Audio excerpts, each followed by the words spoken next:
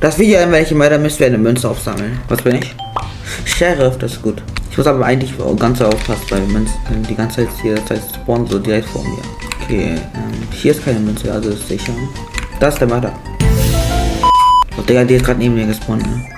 Schaffe ich das ohne die Münze zu berühren? Okay, ja. Also, du bist nicht bei einer. Nein! Warum spawnt die auch auf.